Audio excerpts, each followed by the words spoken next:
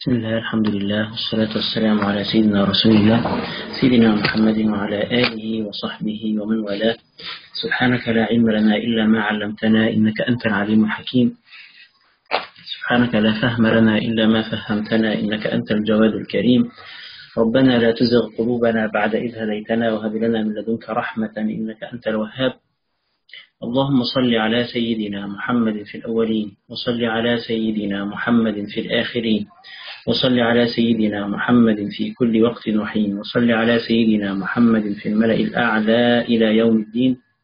أما بعد حياكم الله. مرحبا بكم في هذا اللقاء الذي نجتمع فيه على سنة رسول الله صلى الله عليه وسلم. آه هذه السنة التي أمرنا ربنا سبحانه وتعالى باتباعها وحثنا على التمسك بها. في قوله تعالى وما آتاكم الرسول فخذوه وما نهاكم عنه فانتهوا. وفي قوله تعالى وأطيعوا الله وأطيعوا الرسول وأولي الأمر منكم. وحثنا رسول الله صلى الله عليه وسلم أيضا على اتباعها فقال تركت فيكم ما إن تمسكتم به لن تضلوا بعدي أبدا كتاب الله وسنتي. وبالتالي العلماء لهذه النصوص ولغيرها الكثير قرروا أن سنة رسول الله صلى الله عليه وسلم لا تقل في الأهمية ولا تقل في وجوب التمسك بها والأخذ بها والاعتناء بها عن القرآن فقالوا إن الوحي النازل على رسول الله صلى الله عليه وسلم إما أن يكون متلوا أو غير متلو. فالوحي المتلو هو القرآن والوحي غير المتلو هو سنن رسول الله صلى الله عليه وسلم.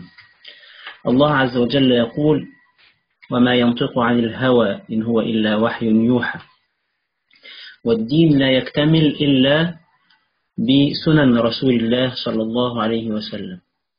القرآن لم يذكر عدد ركعات الصلاة ولم يذكر مقادير الزكاة ولم يذكر شروط الصيام ولم يذكر كيفية الحج وإنما علمنا ذلك من سنن رسول الله صلى الله عليه وسلم. لذلك كل دعوة كل دعوة هتسمعوها حضراتكم من حد بيطلع على التلفزيون أو في غير التلفزيون في كتاب أو في منشور على الفيسبوك أو في غيره يعرفوا على طول كل دعوة تدعو للتخلي عن سنة رسول الله صلى الله عليه وسلم.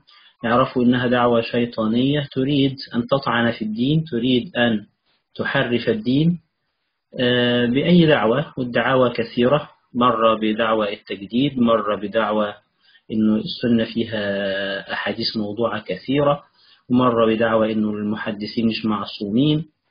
إلى آخر هذه الأمور اللي هي الحقيقة ليست جديدة وترد عليها 100 مرة قبل كده. فلذلك المسلم لا يكتمل دينه إلا بمعرفته بسنن رسول الله صلى الله عليه وسلم. هذه السنن التي سنها لنا رسول الله صلى الله عليه وسلم هي فيها لما نيجي كده نتأملها يعني إحنا كل مرة بناخد مع سيدي عبد الوهاب الشعراني عليه رحمة الله تعالى كل مرة بناخد سنة من سنن رسول الله صلى الله عليه وسلم. لما نيجي نحط كده السنن دي جنب بعضها كلها وتكتمل عندنا الصورة هنجد أن سنة النبي صلى الله عليه وسلم كأنها تنظم لنا برنامجنا اليومي وبرنامجنا الأسبوعي وتنظم لنا حياتنا كلها بحيث المسلم فعلا يكون ماشي على خطى رسول الله صلى الله عليه وسلم أو بحيث المسلم يكون بالفعل مهتدي بهدي رسول الله صلى الله عليه وسلم. بحيث المسلم يكون بالفعل ماشي وراء النور النبوي كما وصفه ربنا سبحانه لقد جاءكم من الله نور وكتاب مبين يبقى إذا لما نيجي نتأمل فيما جاءنا من سنن رسول الله صلى الله عليه وسلم سنجد أنها تساعدنا على أن تمتلئ حياتنا بالطاعة والارتباط بالله والاتصال بالله سبحانه وتعالى. فلذلك أخوانا إحنا بنقول إنه هذه السنن وإن لم تكن واجبة هذه السنن وإن لم تكن بعضها لم يصل لمرتبة الوجوب. فبعضها نعم مما دلنا عليه رسول الله واجب ومما دلنا عليه رسول الله مستحب وما دلنا عليه رسول الله صلى الله عليه وسلم قد يدخل في في في في في المباحات أو في العادات التي ليست من قبل أو التي لا تدخل في التشريع. القصد إنه أيا كانت المرتبة أيا كان ما جاء به الرسول صلى الله عليه وسلم فمعرفة المسلم به مهم.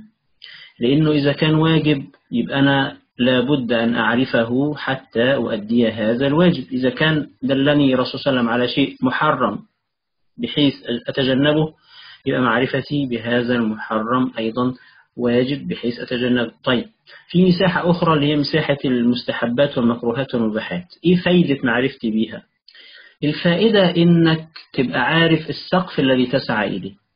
الفائدة إنك لا تنكر على من ينفذ هذه الأمور. الفائدة إنك تبقى عارف برنامج النبي صلى الله عليه وسلم اليومي كان عامل إزاي.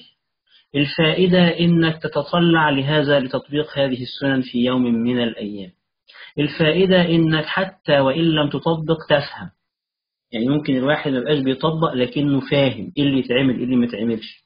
والكثير من آيات القرآن الكثير من آيات القرآن لا تفهم إلا إذا علمنا سنن رسول الله صلى الله عليه وسلم إلا إذا قرأنا سيرة النبي صلى الله عليه وسلم. كثير من آيات القرآن لا تفهم إلا بمعرفتنا بالكثير من سنن رسول الله صلى الله عليه وسلم. يعني لما ربنا مثلا يقول وأقيموا الصلاة طب دي هنفهمها إزاي وأقيموا الصلاة دي؟ هنفهمها إزاي إلا إذا رجعنا للأحاديث الدالة على كيفية صلاة رسول الله صلى الله عليه وسلم. هنفهمها إزاي إلا إذا رجعنا للأحاديث الدالة على وجوب الإقبال على الله سبحانه وتعالى حال الصلاة. هنفهمها إزاي إذا جمعنا كل الأحاديث التي تخص الصلاة وحال النبي صلى الله عليه وسلم معها ظاهرا وباطنا من خلال هذه الأحاديث نعرف التطبيق الأمثل لقوله تعالى وأقيموا الصلاة. التفسير الأمثل لقوله تعالى وأقيموا الصلاة.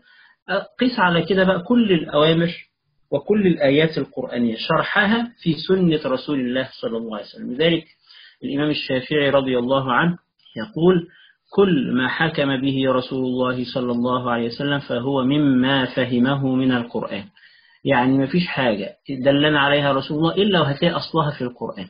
وبالتالي معرفتك بالقرآن ومعرفتك بالسنة كأنه بيعطيك القاعدة وتفسيرها أو كأنه بيعطيك الإجمال والتفصيل أو كأنه بيعطيك الآية وشرحها. لذلك السنة في علاقتها بالقرآن هي علاقة التبيين. ونزلنا إليك الذكر لتبين للناس ما نزل إليه. فلذلك علماء المسلمين لأهمية السنة النبوية بذلوا مجهود شديد جدا في الحفاظ على سنن رسول الله لأنها من الدين. ولا نستطيع أن نفهم القرآن ولا أن نفهم الدين بعيدا عن سنن رسول الله صلى الله عليه وسلم. لذلك عملوا إيه؟ بذلوا مجهودات خرافية في تنقية الأحاديث النبوية التي رويت عن رسول الله صلى الله عليه وسلم. فلما يجي واحد ويقول والله الآن إحنا سنترك السنة. لماذا؟ لأنه فيها أحاديث موضوعة كتير. طيب ما هو مين اللي قال لك إنها أحاديث موضوعة يا أخينا؟ ما هو اللي قال لك إنها أحاديث موضوعة؟ هو بعينه اللي قال لك ده مش موضوع. يعني اللي بيقول لنا ده موضوع هو بنفسه اللي ده مش موضوع. فهم كانوا أمناء مع أنفسهم بحيث يقول لك هذا موضوع وهذا غير موضوع. هذا يمكن أن تأخذ به وهذا يمكنك أن لا تأخذ به. مش كده وبس. ده ما قالولناش. الحديث ده صحيح. أو منسوب لرسول الله وسابك لا ده عرفك المنهج العلمي الذي من خلاله توصل للحكم على القول أو على الحديث بأنه من كلام رسول الله صلى الله عليه وسلم. فحضرتك إذا درست هذا المنهج العلمي تستطيع أنك تعرف صحة هذا الحكم الذي حكم به هذا المحدث سواء قال إن ده حديث أو ده مش حديث. ده منسوب للرسول أو ده مش منسوب للرسول. فلذلك كان من مفاخر الإسلام وكان من معجزات الإسلام ما حصل في عناية علماء المسلمين بسنن رسول الله صلى الله عليه وسلم بحيث المسلم بعد 1400 سنة في يومنا هذا إذا قرأ كتب السنة قعد كده على صحيح البخاري قرأه قعد على صحيح مسلم قرأه أو بدأ على الأقل خالص بالكتب البسيطة زي العهود المحمدية كده زي ما إحنا بنعمل مع بعض أو بدأ بكتاب كده فيه النصوص فقط. المتن فقط من غير شرح زي رياض الصالحين للإمام النووي يستطيع أن يتصور تصور مبدئي عن البيئة التي نزل فيها القرآن وبالتالي فهمه للقرآن هيكون أفضل بكتير جدا جدا مما لو لم يفهم هذه البيئة التي نزل فيها القرآن ده بفضل إيه؟ معرفتنا بهذه البيئة التي نزل فيها القرآن بالظروف والأحوال التي نزل فيها القرآن الأمراض الاجتماعية التي علاجها القرآن ده عرفنا منين؟ من خلال معرفتنا بسنن رسول الله صلى الله عليه وسلم ومعرفتنا بالتحديات التي كانت تواجه سيدنا رسول الله صلى الله عليه وسلم في بداية الدعوة. ومش معنى كده إن السنن تاريخية يعني مرتبطة بالزمان الماضي وخلاص. يعني كان زمان ودلوقتي بقاش تنفع. لا. النبي صلى الله عليه وسلم والقرآن نفسه دلنا على أنه كتاب خالد صالح لكل زمان ومكان. وما كان يصلح لعصر الصحابة ولا يصلح للعصور التالية دل دلنا عليه رسول الله صلى الله عليه وسلم فيما يعرف بعلم الناسخ والمنسوخ فالله عز وجل لما أراد أن ينزل دينه قرآنا وسنة أراد أن يكون كتابا وسنة خالدين ليكون نورا للخلق إلى قيام الساعة. فلذلك نحمد الله أن وفقنا مع حضراتكم لحضور هذا المجلس وتدارس سنن رسول الله صلى الله عليه وسلم والإكثار من الصلاة على رسول الله. يعني علماء الحديث اللي عندهم عناية بقراءة كتب السنة اللي بياخدوا كده صحيح البخاري من أوله لآخره سرد كده وبعدين صحيح مسلم وبعدين سنن الترمذي إلى آخره بيقولوا أقل فائدة بتحصلها. أقل فائدة بتحصلها من قراءتك لكتب السنة إنك بالإضافة على الفوائد الفقهية والعلمية والأخلاقية والتربوية إلى آخره. أقل فائدة تحصلها إنك بتكثر من الصلاة على رسول الله صلى الله عليه وسلم. لذلك بيقولوا بيقولوا إنه أهل الحديث يعني المشتغلين بعلم الحديث رواية ودراية هم أسعد الناس برسول الله صلى الله عليه وسلم. ليه أسعد الناس برسول الله؟ لأنهم أكثر الناس صلاة على رسول الله صلى الله عليه وسلم. نسأل الله سبحانه وتعالى أن يرزقنا بركات أن يرزقنا وإياكم بركات الصلاة على رسول الله صلى الله عليه وسلم. نرجع إلى كتاب سيدي الإمام الشعراني عليه رحمة الله تعالى. قال أخذ علينا العهد العام من رسول الله صلى الله عليه وسلم أن نساعد الفقراء بالعمالة إذا طلب منا الفقراء أن نكون عمالا لهم.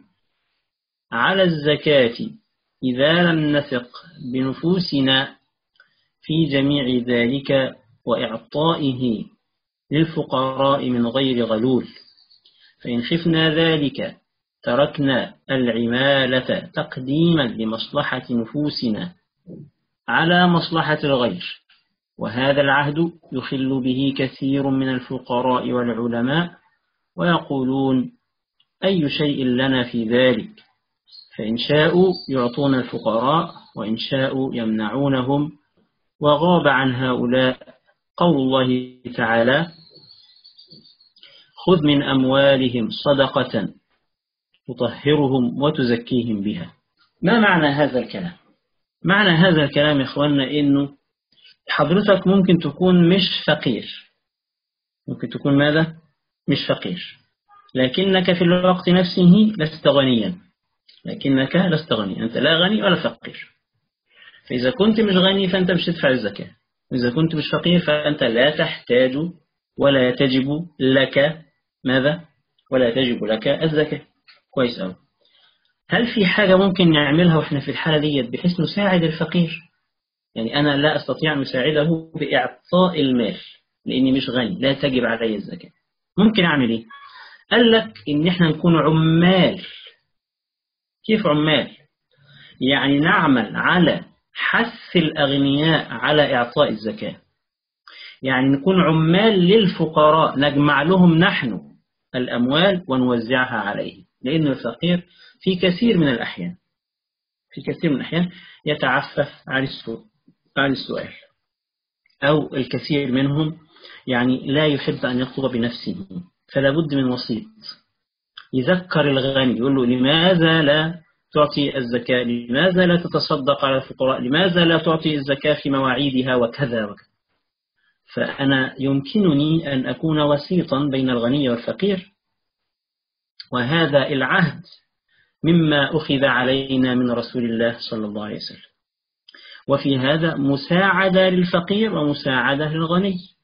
فيه مساعدة للفقير بأنك ترفع عنه الحرج بأنك تحث الغني على أنه يعطيه فيعني يتعفف أو أنه هو خلاص يعني يأخذ حاجته أو كذا. وفيه مساعدة الغني بأنك بتذكره بالواجب يعني كأن فيه أمرا بالمعروف ونهيا عن المنكر.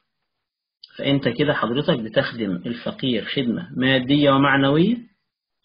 تخدمه خدمة مادية بحيث ياخد فلوسه. وخدمة معنوية إنك تجعله يتعفف فلا يسأل الناس أو تجعله لا يعني لا يضطر إنه هو يعني يجوع أو إنه يقع في ضائقة شديدة. وبتساعد الغني بإنك تعينه على نفسه وتعينه على دينه وتذكره بوجوب دفع الزكاة. فهذا عمل مهم جدا. كتير من الناس يقول لك وإحنا مالنا؟ كتير من الناس يقول لك إيه وإحنا مالنا؟ ما هو إذا الغني هو عارف اللي عليه والفقير هو بقى مشكلته هو فهو يحلها مع الغني أو يروح ياخد. آه فإذا يعني إيه هذا العهد لذلك قال الشيخ هذا يخل به كثير من الناس. تعالوا كده مع بعض نقرأ الكلام من أوله. يقول أخذ علينا العهد العام من رسول الله صلى الله عليه وسلم أن نساعد الفقراء بالعمالة. إذا طلب منا الفقراء أن نكون عمالا لهم على الزكاة. طيب إذا ممكن الفقير يطلب وممكن الفقير ما يطلبش بالمناسبة. يعني سواء طلب الفقير أو لم يطلب الفقير فإنت هذا العمل مطلوب شرعا. مطلوب شرعا. لأنه في أمر بالمعروف والنهي عن المنكر في معاونة الغني على دينه وعلى نفسه وفيه معاونة الفقير. والله في عون العبد ما كان العبد في عون أخيه كما يقول النبي صلى الله عليه وسلم. إذا طلب منا الفقراء أن نكون عمالهم على الزكاة إلا إذا لم نثق بنفوسنا في جميع ذلك ويعطي من غير غلول يعني إيه؟ يعني أنا ممكن أكون ضعيف. يعني أنا ممكن أكون حابب الشغلانة دي لكن أنا عارف إنه أنا إنسان ضعيف. ربما لما أجمع أموال الزكاة أخذ منها جزء لنفسي فأنا بقى كده عملت إيه؟ عملت غلول. يعني أخذت مالا بغير حق. فإن إذا كنت عارف من نفسي إني ضعيف يمكن مثلا يعني نفس تغلبني فآخذ ما ليس من حقي فأنا ساعتها أقول لا يعني أنا إيه مش هقدر على هذا العمل لضعف في نفسي. فإن خفنا ذلك تركنا العمالة تقديما لمصلحة نفوسنا على مصلحة الغير. لاحظوا هنا يا جماعة إن المسلم نعم يقدم المساعدة للآخرين لكن مش على حساب آخرته. عشان كده علماءنا قالوا لا إيثار في القربات لا إيثار في القربات. يعني ما فيش حد والله يقدم غيره يبقى مهتم بغيره وعمال شايل شايل هموم الناس كلها وهو مع الله سبحانه وتعالى أو شيل لهذه الهموم بيخليه مع الله سبحانه وتعالى متأخر. هو بيساعد الناس إنهم يدخلوا الجنة وهو متأخر مع الله. فيكون كأنه والعياذ بالله جسر جسر يعبر عليه الناس إلى الجنة ثم يلقى به في النار. لا أنت حضرتك أول حاجة وأول واجب عليك هو أن تبدأ بنفسك. وبعدين لما تعرف إن أنت والله مع إصلاحك لنفسك هتقدر تقدم المساعدة للغير من غير دوت ما يضرك في دينك يبقى خلاص ساعتها ابدأ إيه؟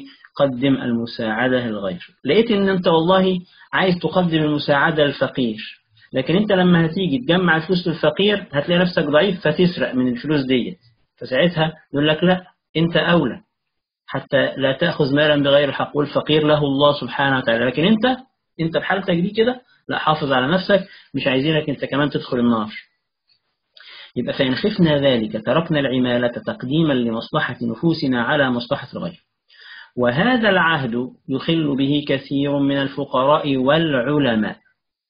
ويقولون أي شيء لنا في ذلك؟ يعني إيه مصلحتنا في ده؟ هو لا يرى لنفسه مصلحة في هذا. فإن شاءوا يعطون الفقراء. يعني فإن شاء الأغنياء يعطوا. وإن شاءوا يمنعونهم يعني الغني إذا عايز يدي ما يدي مش عايز يدي ما يديش. وإحنا مالنا هو اللي هيتحاسب. وغاب هؤلاء عن قول الله تعالى خذ خذ الأمر هنا من الله عز وجل لسيدنا النبي صلى الله عليه وسلم. الله يأمره أن يأخذ. والأمر هنا بأنه يأخذ معنى ذلك أن في وسيط وسيط بين الغني والفقير. وإلا ما كانش ربنا قال للنبي خذ كان قال للأغنياء يا أغنياء أعطوا أموالكم أو أعطوا حق الله في أموالكم وخلاص. لكن الله عز وجل أمر النبي صلى الله عليه وسلم أن يأخذ. وعلى هذا صار الخلفاء بعد سيدنا رسول الله صلى الله عليه وسلم فصاروا يجمعونهم أموال الزكاة ثم يعيدون توزيعها على الفقراء. لذلك أنا بقول إنه الدولة الإسلامية أو الدول التي تريد أن تطبق شرع الله سبحانه وتعالى وتريد أن تساعد الفقراء وتقلل مشاكلها الاجتماعية عليها أن هي تعمل مؤسسة وتسميها مثلا مؤسسة الزكاة. وأظن إحنا كان عندنا في مصر وفي بعض الدول حاجة شبه كده لكن هذه المؤسسات ما كانش فيها إلزام للأغنياء بالدفع وما كانش فيها حصر دقيق بأموال الأغنياء وبالتالي ما ينبغي أن يأخذه أو تأخذه هذه المؤسسة من الأغنياء. فكأنها حاجة حبية كده. يعني مكان الدولة بتوفره زي دلوقتي كده ما هو موجود في مشيخة الأزهر في كده تروح تدفع أموال الزكاة لمشيخة الأزهر ومشيخة الأزهر توزعها على الفقراء. حاجة كده إيه؟ حبية بيننا وبين بعض ما فيهاش إلزام. آه الدولة الإسلامية عليها إن هي تقوم على الدين. تقوم على الدين. ومن أركان الدين الزكاة. ومن ما يحافظ على هذه الدولة آمنة إنه الفقير يكون بياخد حقه عشان ما يسرقش عشان ما يبصش لأموال الغني علشان الغني ربنا يبارك له وهكذا. فالدولة عليها أعتقد يعني أن تلزم الأغنياء بدفع زكاة أموالهم لجهات معينة إلا إذا أتوا بأوراق تثبت أنهم دفعوا أموال الزكاة. زي ما يحصل في الضرائب بالضبط يعني الدولة الحديثة لما أرادت إن هي تجعل في أموال الشركات والتجار والصناع حق للدولة عملوا الموضوع في غاية الدقة. يعني ضرائب وأوراق ومستندات وموظفين بحيث يبقى عارف بالظبط أنت داخل لك إيه وخارج لك إيه. فإحنا لو عايزين نعمل الأمر نفسه في الزكاة هنعمله بكل سهولة بحيث يبقى عندنا بيانات وإحصاءات دقيقة علشان نبقى عارفين هناخد من مين إيه وهندي لمين إيه. آه يبقى إذا وربما إذا فعلنا ذلك نستغني عن أموال الضرائب. نستغني عن أموال الضرائب لأنه أخذ مال الناس أخذ مال الناس بهذه الطريقة. فيه كلام يعني يعني لا يجوز أخذ أموال الناس بغير حق إلا إذا إلا إذا وجدت الضرورة. إلا إذا وجدت الضرورة فإحنا البديل عن الضرائب وغيرها هي أموال هي أموال الزكاة. طيب قال خذ من أموالهم صدقة تطهرهم وتزكيهم بها يعني اطلبها منهم. ولا تتوقف على أنهم يعطونها لك بغير سؤال فإن المال محبوب للنفوس. يعني هذا الغني يقعد يأخر يوم بعد يوم طب بكرة طب بعده ليه؟ لأنه هو يعني صعب عليه خرج. وقليل من الناس من يوق شح نفسه. فكان على هذا القدم سيدي الشيخ أبو بكر الحديدي رحمه الله تعالى. إحنا اعتدنا مع بعض إحنا بنقرأ في كتاب العهود المحمدية. ابن سيد الشعراني عليه رحمة الله تعالى بيذكر كده أسماء مشايخه اللي هو عاصرهم والناس اللي شاف فيهم التطبيق العملي لهذه العهود النبوية. وترجمة غالب هؤلاء المشايخ هتلاقوها حضراتكم موجودة إذا أردتم الاطلاع عليها والتعرف على الناس الأولياء الكمل دول أو الناس العظام دول. هتلاقوها في الطبقات الوسطى أو الطبقات الكبرى أو الطبقات الصغرى وكلها من تأليف الإمام الشعراني عليه رحمة الله تعالى. قال فكان على هذا القدم سيد الشيخ أبو بكر الحديدي رحمه الله تعالى فكان يأخذ من الناس الزكاة بالإلحاح ويعطيها للفقراء والمساكين. طبعا الإلحاح لما يبقى عندك إنسان عمال يلح عليك يقول لك يلا طلع زكاتك يلا هات زكاتك يلا كذا ما يبقاش محبوب للنفوس. لكن إيه اللي يخلي هذا الشيخ يفعل ذلك ويخلي الناس يعني تستثقله شوية؟ يعني علمه بمقدار حاجة الفقير وأمره بالمعروف ونهيه عن المنكر وحثه للأغنياء على أن على أن يعطوا أموال الزكاة. فقيل له إنهم يصيرون يكرهونك. طبعا لما أنت عمال تقول لواحد يلا ادفع الزكاة يلا هات الزكاة عشان أعطي الفقراء. فقال سوف يحبوني في الآخرة حين يرون ثواب أعمالهم. آه يعني إيه؟ هت... أنت إذا كنت الآن آه، الناس بيستثقلوك ففي الآخرة سيعلمون قيمة ما كنت تفعل. وقد قال أخي أفضل الدين لشخص مرة لا تترك فعل الخير ولو خفت أن يذمك الناس. فقال له سيدي الخواص ولو ذموك وفرغوا من الذم. يعني برضو لا تترك الخير. يعني في ناس كتير يا إخواننا فينا فيهم عادة كده وهي إيه؟ إنه يفضل يعمل الخير طول ما الناس بتمدحه. أول ما الناس تجيب في سيرته لك يا عم وأنا إيش وأنا الباب اللي يجي لك منه الريح سد واستريح أنا مش عايز وجع دماغ مش عايز وجع دماغ أنا. أنا إيه لا مش مستفيد حاجة من الموضوع ده كله. لا ال ال الذي يطلب الآخرة يا إخواننا يعلم. اولا إنه لن يفعل فعلا صالحا خاصة مما يتعلق بالخلق أو في تعامل مع الخلق من غير ما هيناله أذى. يعني مش هيحصل إنك تبقى ماشي كده في حياتك من غير ما حد يأذيك. يعني ده ضد طبيعة الأشياء ضد طبيعة الدنيا. يعني لم يبقى حسب الناس أن يتركوا أن يقولوا آمنا وهم لا يفتنون؟ لازم اختبار. اختبار. حتى ترتفع في الدرجات واختبار حتى يعلم الله صدقك فيما تدعو إليه أو فيما تفعل من خير. فإذا لقيت الناس بيذموك هذا لا يكون أو لا ينبغي أن يكون صارفا لك عن الخير. بل لما تيجي حضرتك بقى تقرأ في علامات الرياء الناس اللي بتدرس معنا التزكية هتلاقي إنك إذا تركت العمل لأجل مذمة الناس أو فعلت العمل لأجل جلب مدح الناس فهذا هو الرياء. يعني معنى إنك الناس ذموك فتركت معنى كأنك كنت تعمل لأجل جلب مدح الناس. فلما الناس ذموك قلت خلاص أنا كده إيه غرضي ما, ما تمش كأنه كأنها في باطنك بهذا الشكل. طب لو أنت عينك على الله سبحانه وتعالى وأنت تعامل الله سبحانه وتعالى ولا تنتظر من الخلق لا شكرا ولا ولا ولا شيء والله مدحوك مش هتفرق معاك لأنك لا ترى إلا الله. ذموك برضه مش هتفرق معاك لأنك لا تعامل إلا الله. يعني لا مدحهم هيعمل فيك حاجة جديدة هيزودك شيء ولا ذمهم هياخد منك شيء. لماذا؟ لأن عينك على الله. عينك على معاملة الله سبحانه وتعالى. فقال له سيدنا خلاص ولو ذموك وفرغوا من الذم. يعني ذموك وذموك وذموك. وانتهى ذمهم. أيضا لا تترك الإيه؟ لا تترك لا تترك الإيه؟ الخير. قال فافعل يا أخي كل شيء ندبك الشرع إليه ولا تتعلل بعذر عادي من حياء أو خوف ذم. يعني كتير برضو بيمنعنا عن فعل الخير أحيانا إن إحنا عندنا حياء أو مكسوفين أو الناس هتقول عليا إيه. الإنسان الذي يريد الآخرة ما ما, بي ما بيحسبهاش كده. ومش معنى كده إنك تبقى واقع أو تبقى إنك فج في التعامل مع الناس. لا ممكن تطلب من الناس وانت إنسان في غاية الذوق وفي غاية الرقة وفي غاية اللطف. مفيش يعني مش لازم الواحد يا إما ما يعملش الحاجة حياء يا إما يعملها بفجاجة وبتنفير لا في في خط وسط في حكمة في التعامل. ومن يؤتى الحكمة فقد أوتي خيرا كثيرا. إنك تبقى عارف هتقول إيه لإمتى إزاي فين. فأنت لازم الواحد إيه يتعلم هذا. فافعل يا أخي كل شيء لك الشرع إليه ولا تتعلل بعذر عادي من حياء أو خوف ذم. فإن العذر لا يقبل إلا إن كان شرعيا كخوفه على نفسه من الغلول. يعني ما تقولش والله أنا معذور لأني بستحي. لا ده مش عذر. هذا عذر غير مقبول. لماذا؟ لأن الأعذار المقبولة هي الأعذار الشرعية. يعني الأعذار التي اعتبرها الشرع أعذارا. فإن العذر لا يقبل إلا إن كان شرعيا كخوفه على نفسه من الغلول. يعني أنت خايف على نفسك إنك تاخد من الفلوس دي لأنك عارف إنك ضعيف أمام المال.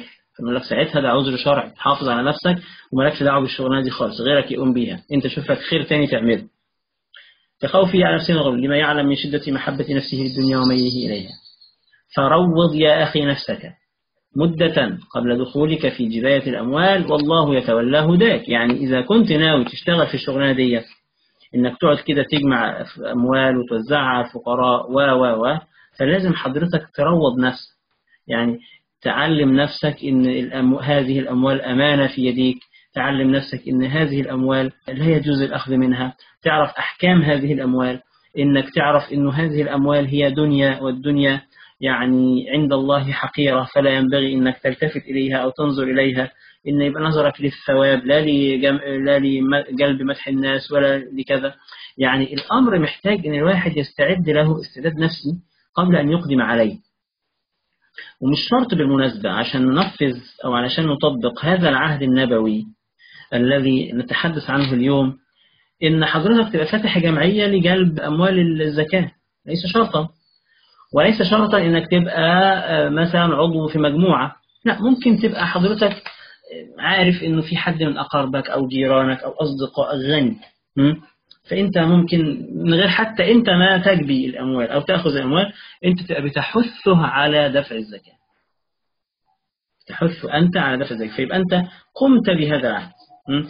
سواء أعطاك أنت قال لك طب والله أنت راجل متدين وبتاع ربنا وكده فشوف لي حد ياخد الفلوس. إذا هو قال لك كده وطلب منك ذلك فخلاص قول طيب أنا يعني إيه ممكن أخذها وأديها للناس أعرفهم إذا كنت فعلا تعرف كده أو تدله على ناس بيعملوا الموضوع دوت. طيب إذا ما قالكش كده فأنت خلاص أمرت بالمعروف ونهيت عن المنكر. يعني مش لازم عشان ننفذ هذا العهد إنك تكون أنت اللي هتاخد الأموال. يمكنك أن تحث الغني على دفع المال وإن لم يعطي لك هذا المال لتدفعه أنت الفقير وروى الإمام أحمد واللفظ له أبو داود الترمذي وابن ماجه بن خزيمة في صحيح مرفوعا العامل على الصدقة بالحق لوجه الله تعالى كالغازي في سبيل الله عز وجل حتى يرجع إلى أهله. كالغازي في سبيل الله تخيلوا يعني الشخص اللي يقعد يلف كده على البيوت علشان ياخد من ده وياخد من ده وياخد من ده. وفلان يقول له فوت عليا بكرة وفلان يقول له معيش دلوقتي غير المبلغ دوت روح وبعدين تعالى لي بعدين أو فكرني أو كذا أو كذا. أمر محتاج صبر. أمر محتاج صبر. فلذلك أجره عظيم. وفيه إعانة للمسلم وفيه إدخال سرور على هذا الفقير. آه. كالغازي في سبيل الله. كالغازي في إيه بقى؟ كالغازي في الثواب. ولما حضراتكم تطلعوا على أجر المجاهد. والغازي في سبيل الله تجدونه أجر عظيم جدا. فمعنى ذلك أن النبي صلى الله عليه وسلم يرفع من هذا العمل رفعة كبيرة ويحث عليه حثا شديدا. العامل على الصدقة بالحق لوجه الله تعالى كالغازي في سبيل الله عز وجل حتى يرجع إلى أهله. وفي رواية الطبراني مرفوعة العامل إذا استعمل فأخذ الحق وأعطى الحق لم يزل كالمجاهد في سبيل الله حتى يرجع إلى بيته. يعني أخذ الحق اللي هو الزكاة وأعطى الحق اللي هو مال الزكاة للفقير المستحق. لم يزل كالمجاهد يعني طول ما هو بيقوم بالشغلانة ديت طول ما هو قاعد كده عمال يعمل حصر بالفقراء وحصر بالأغنياء وفلان اداني كذا وفلان لسه هيديني بكرة كذا وفلان قال لي فوت عليا الأسبوع الجاي وفلان لسه عليه كذا من السنة اللي فاتت وفلان وعلان. دوشة دوشة كبيرة. فلذلك تحتاج إلى صبر. لذلك تشبيه النبي أيضا لمن يجمع المال بالمجاهد ليس عبثا لأنه الجهاد يعني يتطلب إلى صبر عظيم جدا. آه لم يزل كالمجاهد في سبيل الله حتى يرجع إلى بيته. وروى الإمام أحمد ورواته ثقات مرفوعة خير الكسب كسب العامل إذا نصح. يعني خير الكسب كسب العامل إذا نصح. خد بالك معي خد بالك معي العامل على جمع هذه الأموال أموال الزكاة يستحق سهما من هذه الأموال. الله عز وجل يقول والعاملين عليها والعاملين عليها. لأنه هذا الشخص هيفرغ نفسه هذا الشخص هياخد من وقته هذا الشخص, هذا الشخص إلى آخره. فهو إيه؟ هيبذل مجهود وينفق وقت. فهو يستحق مقابل هذا المجهود ومقابل هذا الوقت أجر. تمام؟ فهل يجوز لي أن آخذ هذا الأجر؟ النبي صلى الله عليه وسلم يقول خير الكسب كسب العامل إذا نصح. يعني هذا الكسب حلال لا شيء فيه يمكنك أن تأخذه. طيب أنا قلت لي والله أنا بعمل كده لله ومش عايز حاجة يقول لك يبقى جزاك الله خيرا مرتين. مرة على إنك جمعت ومرة على إنك آثرت الفقير بجزء من مالك. وروى الإمام أحمد مرفوعا وفي إسناده مجهول ستفتح عليكم مشارق الأرض ومغاربها وإن عمالها في النار إلا من اتقى الله عز وجل وأدى الأمانة. آه ما معنى كلمة العامل هنا؟ العامل هنا هو من استعمل في عمل يعني الرئيس الدولة اسمه عامل المحافظ اسمه عامل رئيس مجلس المدينة اسمه عامل رئيس الشركة اسمه عامل كل دول عمال. يعني إيه عمال؟ يعني يعملون في الوظائف العامة. يعملون في الوظائف العامة التي تخدم الخلق. طيب الناس اللي بيتحكموا في رقاب الناس يبقى واحد كده هو رئيس مثلا دولة أو يبقى واحد محافظ. أو يبقى وزير أو يبقى واحد ذو مكانة يعني واحد كده ضابط مثلا في ولا حاجة ويتحكم في الناس أو موظف كبير في مؤسسة الضرائب أو في مؤسسة في المالية أو في التعليم أو في الصحة والناس كده يا عيني جاية تطلب منه منه طلبات وهو لا يتقي الله في معاملته للناس ولا في القيام بما أقامه الله سبحانه وتعالى فيه. النبي صلى الله عليه وسلم يقول في النار. والنبي صلى الله عليه وسلم دعا على أمثال هذا فقال اللهم من ولي من أمر أمتي شيئا فشق عليهم فاشقق عليه. ومن ولي من أمر أمتي شيئا فرفق بهم فارفق به. يبقى حضرتك ما تفرحش بالوظيفة العامة. ما تفرحش إنك بقيت محافظ ما تفرحش إنك بقيت وزير. دي مصيبة. هتسأل عنها يوم القيامة. لذلك كان الصحابة يهربون من هذه الأمور. إحنا طبعا لأنه غلب علينا الغفلة وغلب علينا عدم النظر الآخرة بأن ننظر فقط إلى مغانمها الدنيوية وإحنا في غفلة عن مغارمها الأخروية. يعني نفرح لما إيه ناخد منصب. ونسعى المناصب سبحان الله. يعني واحد كأنه بيسعى لحتفه بيده. أحسن حاجة الواحد والله لا يسعى لمنصب لكن إذا عرض عليه وألح عليه. وما كانش في حد يقوم بهذا المنصب غيره خلاص يقبله لله ويتقي الله سبحانه وتعالى فيه. إذا ستفتح عليكم مشارق الأرض ومغاربها وإن عمالها في النار إلا من اتقى الله عز وجل وأدل طب إيه علاقة هذا الحديث باللي إحنا بنتكلم فيه؟ هذا العامل الذي يجمع الزكاة هو عامل يعني في وظيفة عامة. تمام؟ إذا لم يتقي الله يعني مثلا فلان ده غني ده صاحبي خلاص مش هطالبه. ومش هأخبر الدولة ولن أخبر الدولة بأنه هو إيه يجب عليه الزكاة. أو سأدون عندي في الدفاتر أنه دفع الزكاة. يبقى أنا الآن لم أتقي الله سبحانه وتعالى لم أؤدي الأمان. طيب. وروى أبو داود مرفوعا ما استعملناه على عمل فرزقناه رزقا فأخذ فوق ذلك فهو غلول. يعني حضرتك الآن إذا وظفت في وظيفة معينة تمام؟ وراتبك معروف. إنك راتبك بتاخد 1000 جنيه في الشهر أو 1000 دولار في الشهر أو ايا كان المبلغ اللي بتاخده. تمام؟ وبعدين أخذت فوق ذلك. يعني حضرتك بيوزعوا حاجات مثلا الشغل في حاجات كده مرميه ما حدش بياخدها فرحت أنت واخدها. حضرتك عشان مثلا تمشي الناس معاملاتها تطلب منهم فلوس رشوة. النبي صلى الله عليه وسلم يقول فهو غلول. فهو يعني هو مال حرام لا ينبغي أخذه. والله عز وجل يقول ومن يغلل يأتي بما غل يوم القيامة. يعني هيجي كده والمال ده معه يوم القيامة ليحاسب عليه أمام الله سبحانه وتعالى. يعني كل حاجة أنت هتاخدها زيادة عن مرتبك زيادة عن مرتبك وبغير إذن صاحب العمل وبغير إذن صاحب العمل فهو غلول أو فهو مال حرام. وفي رواية المسلم وأبي داود وغيرهما مرفوعة. من استعملناه على عمل فكتمنا مخيطا فما فوقه كان غلولا يأتي به يوم القيامة. يعني حضرتك بتجمع أموال الزكاة خلاص؟ وبعدين من الأموال اللي أنت جمعتها خيط تخيل خيط. أو نقول مثلا حاجة بسيطة قلم مثلا. أو نقول مثلا ربع جنيه. دي حاجة بسيطة ممكن اللي بيجمعوا الزكاة لك يعني هي جت على ربع جنيه. ما خلاص أنا هديلهم الإيه؟ السليم والفكة مش مهم. آه النبي صلى الله عليه وسلم هنا يقول أبدا من استعملناه على عمل فكتمنا مخيطة. يعني ولو مخيطة. يعني ولو حاجة بسيطة جدا. فما فوقه يعني أقل شيء فما فوقه طبعا. كان غلولا يعني كان مالا حراما سيحاسب عليه يوم القيامة. يأتي به يوم القيامة ليحاسب عليه وليسأل عنه أمام الله عز وجل. خلاصة المسألة أو خلاصة هذا العهد يا أخوانا إنه علينا أن إذا كنا من أرباب ممن تجب عليه الزكاة علينا أن ندفع الزكاة في مواعيدها.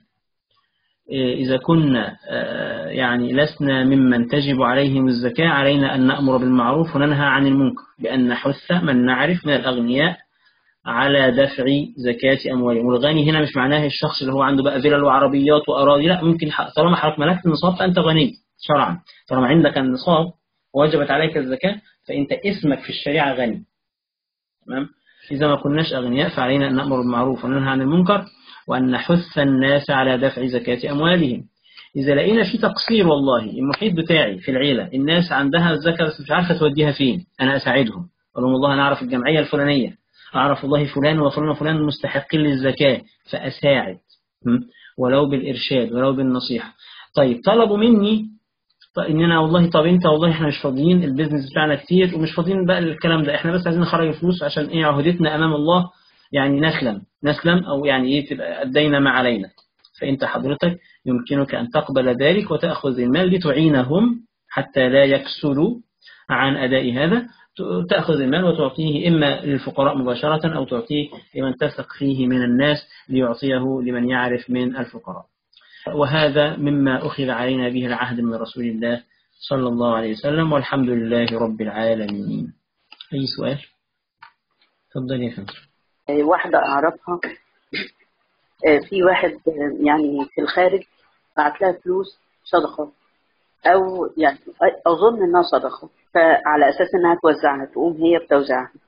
فطلبت منه هل أنت محدد حاجة معينة؟ قال لها لأ لك الخيار في توزيع الفلوس اللي أنا بعتها. فكانت هي غارمة.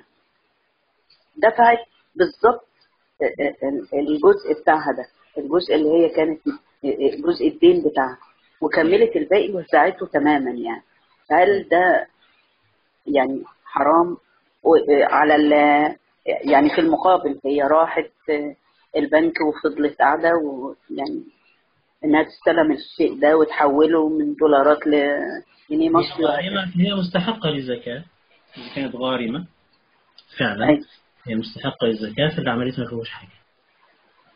لما فوضها ولا تصرفي بالطريقة اللي انت شايفاها وهي ممن يستحق الزكاة فخلاص. طالما كانت تستحق الزكاة فخلاص. لا بأس. يعني هي ما كانتش فقيرة إلا إن هي كانت غارمة وكان ال... ال... ما كانتش قادرة إنها تسد الدين ده ما هو معنى إن عليها ديون مش قادرة تسدها إن هي معهاش ولا إيه؟ لا طالما هي يجب لها الزكاة أو ي... ممن ينبأ ممن تجب لهم الزكاة أو ممن يأخذون الزكاة فهو الزكاة لا تعطى فقط للفقير إنما الصدقات للفقراء ده صنف أيوة. والمساكين ده صنف الفقراء والمساكين والعاملين عليها ده صنف. والمؤلفة قلوبهم وفي الرقاب والغارمين وفي سبيل الله. ثمان أصناف. تمام. خلاص؟ فمن ممن تجب لهم الزكاة مين؟ الغارمين اللي هم المسلمين الذي يعني إيه؟ عليه دين ولا يستطيع سداده. مش يبقى أنا والله معين فلوسي في البنك ومحوشها وأقول للناس يا جماعة ده أنا عليا ديون ساعدوني أسدد ديوني لا أنا عليا ديون ومش عارف أسددها. ده المعنى. أظن إن هي في آه مش عايز مش مش عاين فلوسي ومش عايز أجرحها. لا. لا لا لا. أنا عليا ديون ده أنا كاسمي غارم. عليا ديون ومش عارف أسددها. وهتسجن لو ما سددتش ويبقى عندي مشكلة. وكذا وكذا. فده نقول له ده ياخد الزكاة. واضح؟ شكرا. واضح. أكرمكم الله. طيب في سؤال ثاني طبعهم الأشخاص اللي طبعهم perfectionist ما بيحبوش الذم إنهم أساسا بيحبوا كل حاجة تكون لو ما بيحبوش الذم مراعاة للناس أو خوفا من الناس يبقى هو ده الرياء. لو ما بيحبوش الذم إنهم بيحبوا الإتقان والإحسان وكذا وكذا فخلاص خارج نطاق الرياء. لكن أحيانا البرفكشن زيادة عن اللزوم يعني مثالية لا تتفق مع طبيعة الحياة. يعني الحياة بتاعتنا يقبل فيها بعض الديفوهات ويقبل فيها بعض التأخير ويقبل فيها بعض الأمور اللي يعني هتبقى مش perfect قوي. فلازم الدنيا يعني إيه آه علشان إحنا حتى ما نتعبش يعني. لأن لو حبينا كل حاجة تبقى perfect perfect perfect يعني أعتقد إحنا أول ناس هنتعب. لكن لو بنسأل على مسألة الرياء فهو إحنا بنقول هو إذا كان الواحد عايز الحاجة بتاعته تبقى كاملة من باب الإحسان والإتقان ومن باب إن هو ما يحبش حاجته إلا أن تكون في غاية الإحسان فده ما فيهوش حاجة. لكن لو بيعمل كده عشان الناس يقولوا عليه ده فلان ده يا سلام عليه شاطر خايفة من الناس علشان الناس يقولوا عليه ده ما قصرتش لا يبقى ده الرياء. سبحانك اللهم وبحمدك أشهد أن لا إله إلا أنت أستغفرك وأتوب إليك. بسم الله الرحمن الرحيم والعصر. إن الإنسان لفي خسر إلا الذين آمنوا وعملوا الصالحات وتواصوا بالحق وتواصوا بالصبر. سبحان ربك رب العزة عما يصفون وسلام على المرسلين والحمد لله رب العالمين والسلام عليكم ورحمة الله وبركاته.